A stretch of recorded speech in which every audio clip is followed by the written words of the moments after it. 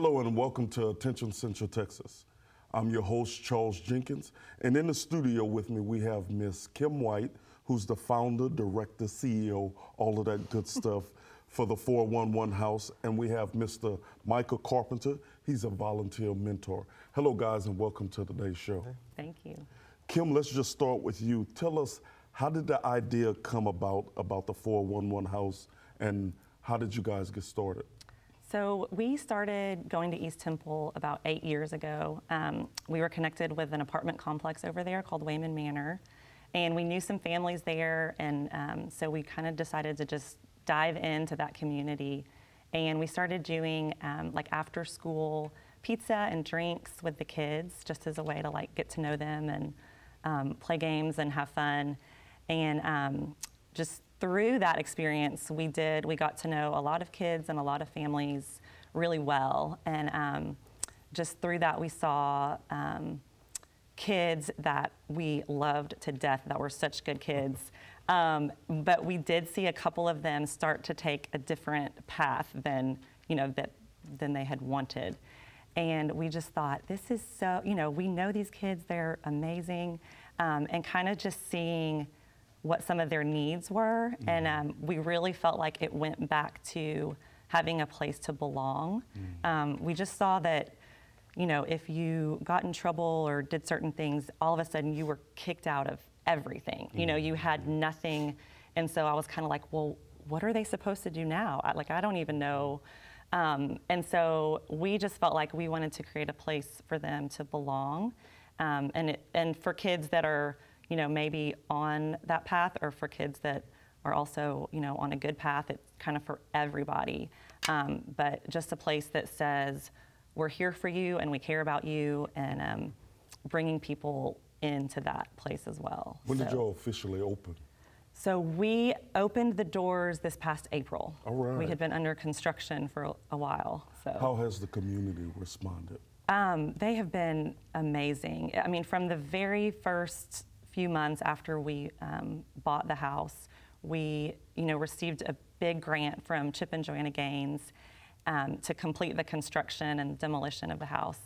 And then from there, the community uh, just pitched in. I mean, we had people offering a new roof, a whole new electric, you know, lighting, and just everything. So the community has been amazing with the building of the house. And then now that we've been open to, it's pretty much you know, any need that we put out there, I feel like the community just instantly steps up and, and wants to help us out. And speaking of needs, Michael, what, uh, what are some of the needs of the 411 house? Yeah, so the 411 house um, really um, gives the boys the opportunity um, to experience some things they normally wouldn't. Um, and so they get to um, you know, they get to have spend time with mentors and volunteers who actually care about them. You know, um, men in the community who, who want to see them be the best they can be. And then also, um, you know, we do fun stuff for them. And so we bring in, like tonight, we're bringing in some producers, some music producers. And so they're going to get to make a song, you know. And so a couple weeks ago, we had spray paint artists. And so um, we're giving them opportunities to like channel their energy and, and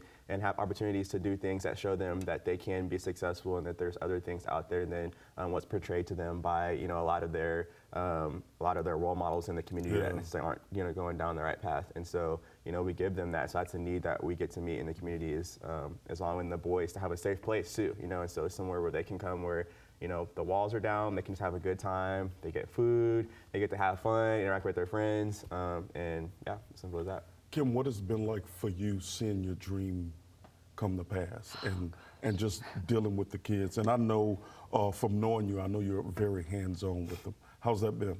It's it's been amazing. I mean, and so much of it is is just the little things that you wouldn't necessarily think are, you know, but um, you know, just I mean, the kids sitting around the table for one. It, we had this huge dining room table built, and just every single week when they are sitting around that table mm. eating dinner, like my mm-hmm. heart just wants to explode, yeah. you know, because it's been a process for so long of, of picturing it and, you know, getting it all ready and then to just see them in there enjoying mm-hmm. it, laughing.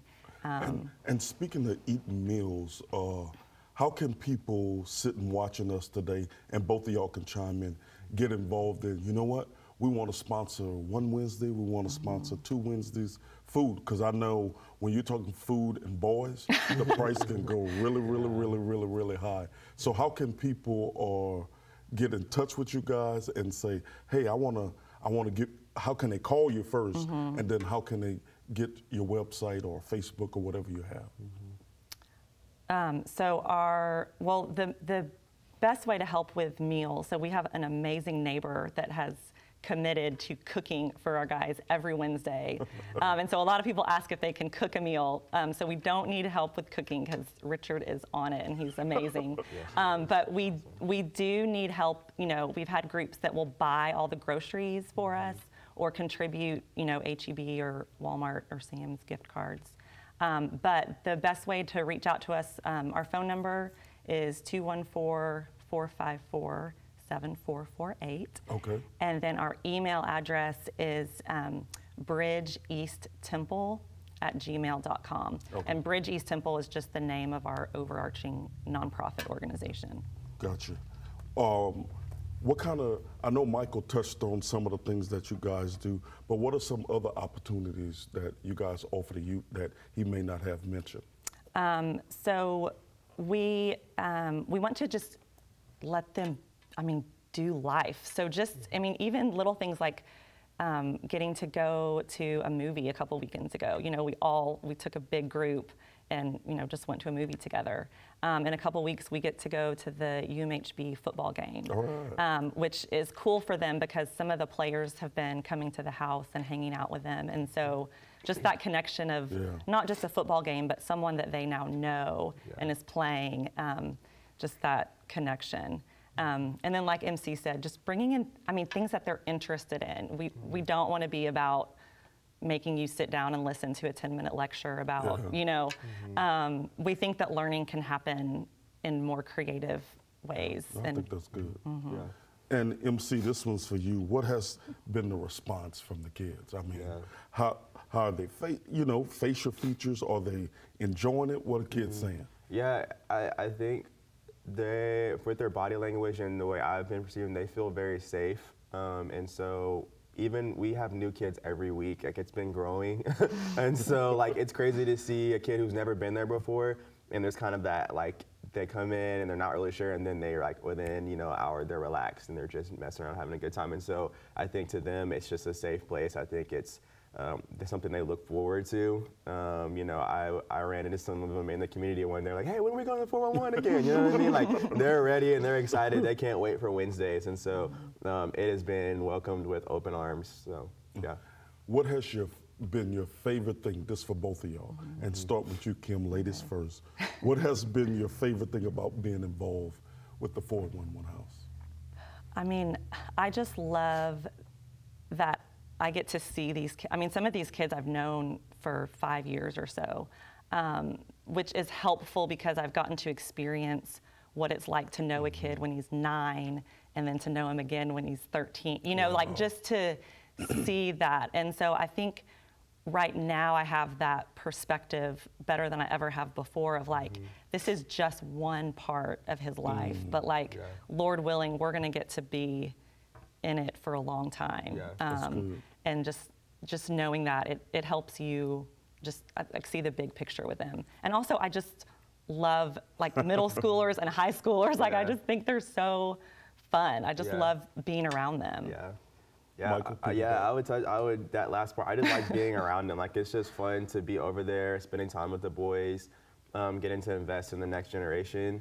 Um, and so like I'm, I'm only 25, so I'm really not I'm not old, but it's still I still feel like I'm kind of staying young, getting to hang out with them, hear the words that they're saying, and so like now I get to use like the cool lingo and, and know what I'm talking about, and so it's just really fun to get to hang out with them. And then it's also cool just to kind of like to to see that you're making an impact, you Yeah. know. And so I don't, I don't, I'm probably not going to get to see the overall impact of what you know hanging out on a Wednesday looks like in their life. But it's cool to see the little things that Yeah. um, that happen. So I think y'all touched on a bunch of things. I think the scripture reminds us that uh, one person wa- got water. I mean, one person waters, one plants, but God gets the increase. And I think over time the kids are going to see. Because you said something that's key with all kids is safe.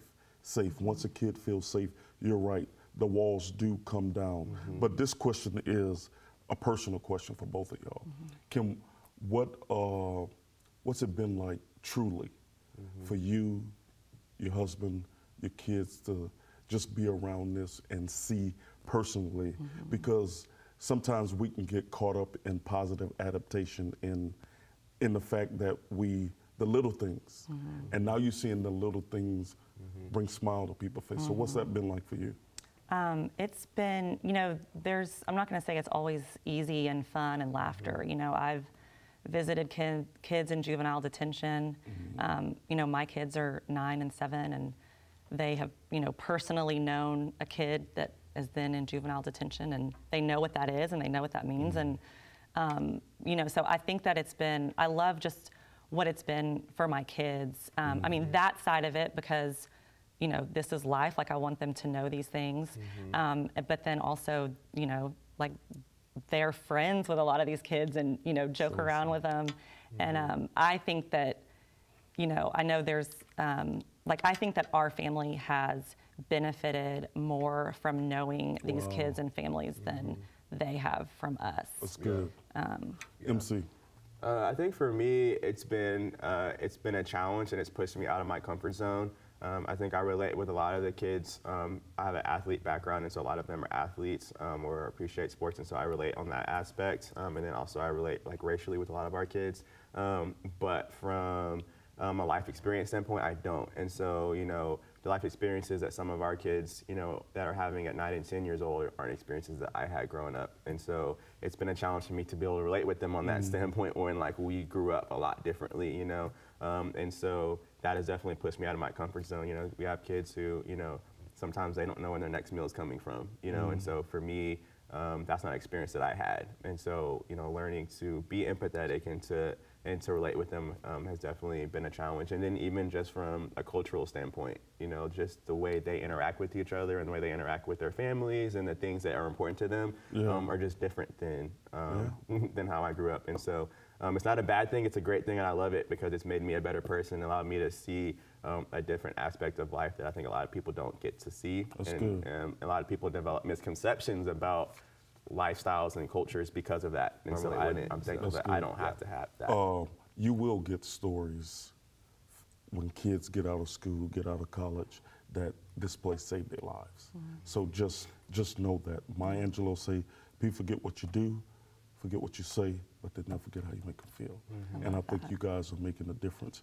Kim, I want to take this time to say thank you for being on the show. Thank you for what you do. Such a sweet spirit and nothing but love for you. Same for you, MC. Thank you guys for being on the show. Thanks for having Thanks. us. Thanks for having me. Thank you, our viewers, for tuning in to Attention Central Texas.